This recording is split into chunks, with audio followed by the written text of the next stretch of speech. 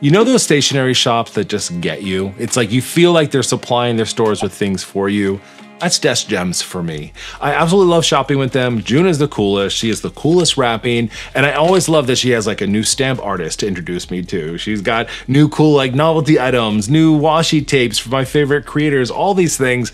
And then I have to buy. And the reason that I actually went and purchased from her this time was actually for a very small reason. So I have this Sailor Hocoro pen that I got a number of shopping sprees ago and I thought it was really cool. Cool little dip pen, but the problem is is it writes not very much and the ink runs out. So you're constantly dipping your pen. So she just sent out an email, was like, hey, we sell these ink feeds now for these little pens and they're three bucks. And I was like, I have to get it. So in today's video, we're gonna be unboxing what I bought, some washi tapes. I got the little ink feed. I got another nib for this thing as well. Um, another pocket notebook. You'll see what I got inside of here. The big part though is we'll be doing a writing sample with this pen today. So you can see how it writes without the ink feed. And then we're gonna add the new ink feed to it to see how much better it is. Fingers crossed that it's better because I think this little pen is pretty cool, but I'm not to use it and I haven't been using it if it really can't write for longer than like a line or two. So we'll go ahead and get into our unboxing, but before we get started, I've been looking at my analytics on this channel and I noticed that over 75% of the people watching these videos are not subscribed. So if you're one of those people, consider subscribing. If you like this type of unboxing content, stationery lovers, unite work bullet journal content, I'm here for you. We have a lot of fun and hopefully you've checked out a video before. So I think it's time you hit that subscribe button. So let's go ahead and get into our unboxing and definitely check out this pen and what this ink feed is gonna do for us. Every time I get a package from Desk Gems, I just love the way it looks. I used to try to save a lot of the washi and stuff, but honestly, at this point now, there's just no point. I'm never going to use all the little pieces, but I do love the little notes and the handwritten notes from June whenever I order from her. It's just, it's just great. And I love that um, I get to support her shop brand. One of the main reasons that I made this purchase from Desk Gems is I actually bought this Sailor Hocoro dip pen uh, a few shopping sprees ago. And I think it's very cool. It's nice and easy to use. It's super lightweight. But the problem is it only writes maybe a line when you dip it with the ink. And that was ridiculous. And I wasn't using it. And then I saw that they just came out or started to sell these Hocoro feeds. And that way you attach it to the bottom of here and it holds on to a lot more ink. So I'm really excited to see exactly how much is a lot more ink when we're using this today. I also got another nib. I'm a big fan of these. Like I said, I think it's really cool. They all snap in. So I got a different size and we'll be checking that out as well.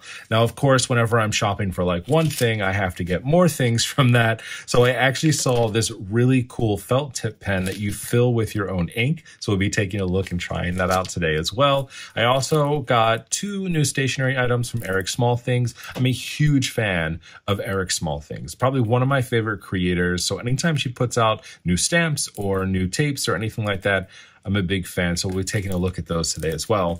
I've also just loved shopping on that shop because you never really know what you're going to find. So we got some real cool clear stickers that I can add inside of my bullet journal. And then I've just been like addicted to buying these little tiny notebooks recently. So when I saw these from the CD Notebook, I was like, all right, I have to get it. You know, let's just add on to it. So we'll be taking a deeper look into this today too. Let's go ahead and start with the washi tape first. So a lot of the times you'll hear me actually talk about how I don't really use washi tape a whole lot inside of my bullet journal. And that's not an untrue statement, but I think more than anything is I can't always find washi tape that I like. A lot of it tends to be very floral, uh, very feminine, and that isn't what my bullet journal looks like.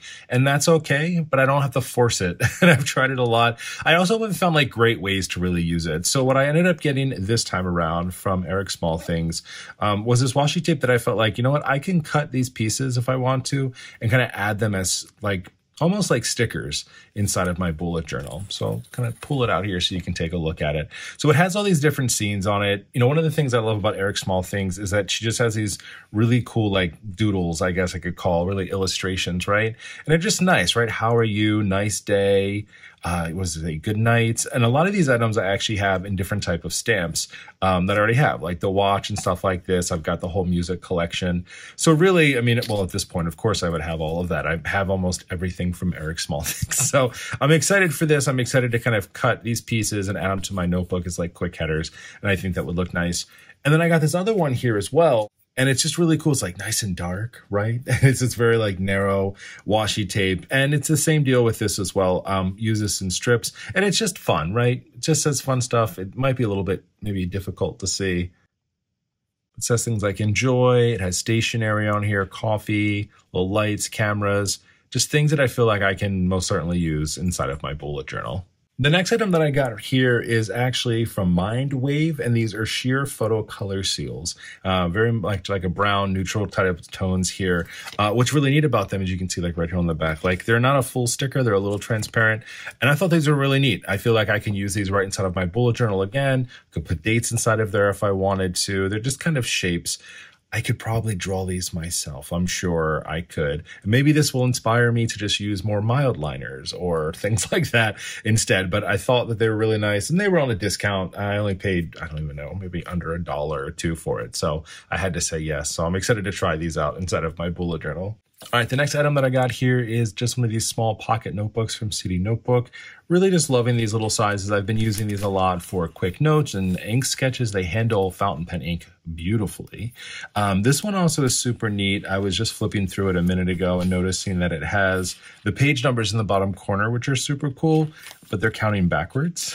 So I'm assuming that you can know how many pages you have left as you're going through, or perhaps if you are writing this notebook, uh, from right to left instead of left to right, you also have your page numbers inside of here. It does have a little index here in the front, which I thought was really nice. And then it does have like a little section, writing section here in the back, which you could also use as an index if you wanted to uh, without having it written out. You could write it, especially if you're writing in a different language. It's all here for you.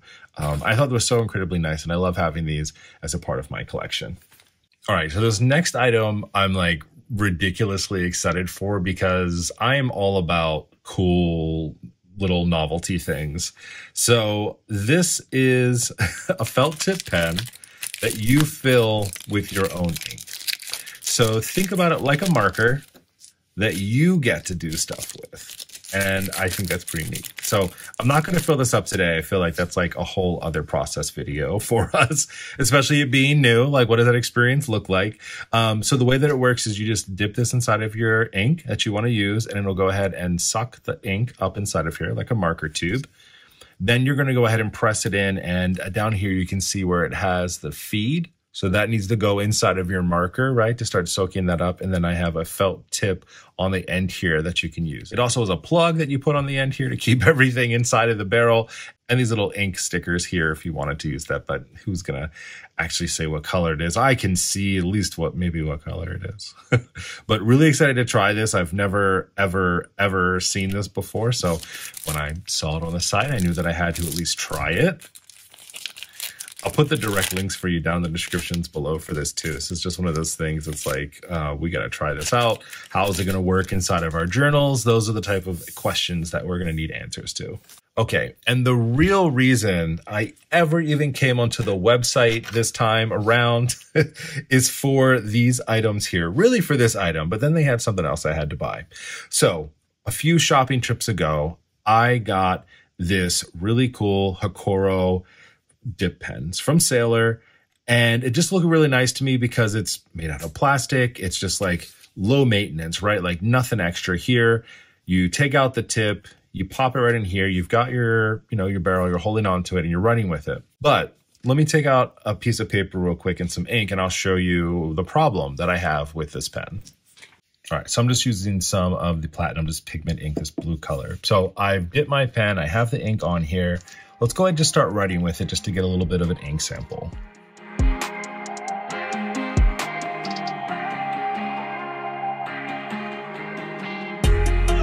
So I've got about eight lines on here with it, which is actually not terrible, right? If you're writing with a dip pen, um, but the whole idea is that you want it to hold more, right? As you want to do that. So to do that, they now sell this feed. So I've gone ahead and unwrapped it here. And when we go ahead and open this up, you'll see we have the small feed here in the bottom and then our instructions on how to do this. So I think it's just uh, super easy, hopefully, to pop this on here. We'll see exactly how it works out, but you're just popping it into the tip. You're pushing it up against the nib, and then we should be able to see that black feed behind this here. So let's go ahead and see how I do. And from a price perspective, um, I think this pen maybe was like $14.50 when I first bought it here, which isn't, you know, I guess it depends like how you look at it. Like, is it a lot of money? Is it not? But if you want the nib, say you already have this and you just want the nib, the nib is only three bucks. But if you want to get a pen with the feed already in it, it's $15.50. So it's like, it's worth it, I think. All right, so we'll go ahead and take this and put this inside the little hole there. And just made like a little bit of a snapping noise. There you go. And like there's a little, how do you see the little heart that's inside of there? There is a little piece of plastic that snapped all into place here. So what do we get? We said eight lines uh, off of doing this. So now that we have the feed, we should get a whole lot more. So let's see how much further we can go with our nib now on our page sample here.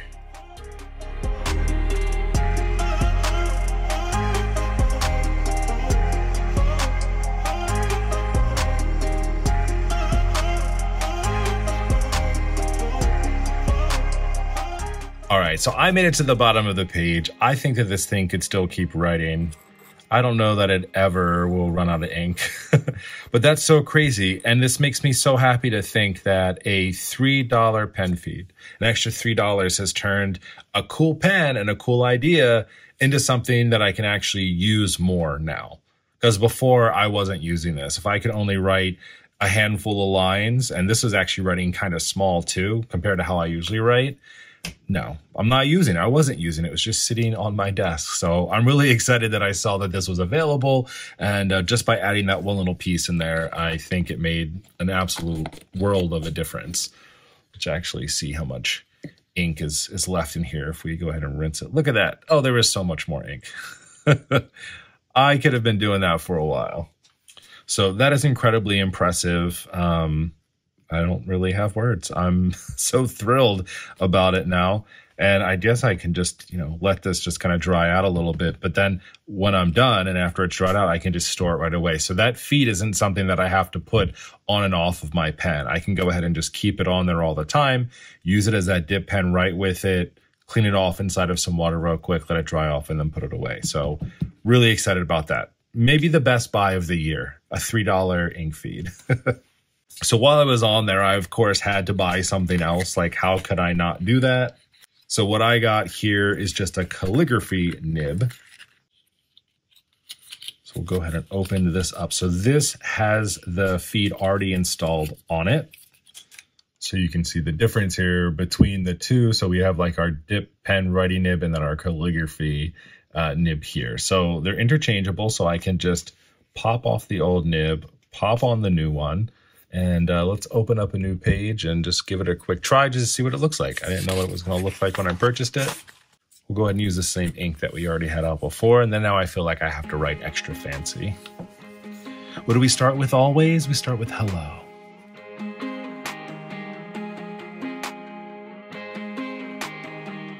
and definitely excited to continue using this uh, for all kinds of things. So, so kind of join my uh, Kakamori nibs that I can replace. I didn't buy an extra body, but um, if I really wanted to, you can also just purchase extra bodies for these along with the nibs or with the nibs on the body. It's totally up to you. It's kind of insane to think that a small little piece of plastic can totally change your excitement about a product. Like I was excited for it when I first got it and then realized you could only write what a handful of lines and then now this little ink feed what elongates that tenfold. It's insane. I'm so excited. I'm excited to try out the other nibs, the washi tape, the stickers. You'll see all the stuff inside of my work bullet journal. We have a lot of fun. That's for darn sure over here. I'm excited to continue with unboxings. Um, we've got some other reviews coming up for you, and then always our bullet journal ideas and working inside of our work bullet journal. If you're a fan of any of those things and you're not already subscribed, make sure to go ahead and subscribe. Tap that bell. That way you're notified when we've got some new fun videos coming out. Again, thank you so much for hanging out with me today always love having you here as a part of the crew, and I'll chat with you next time. Happy planning.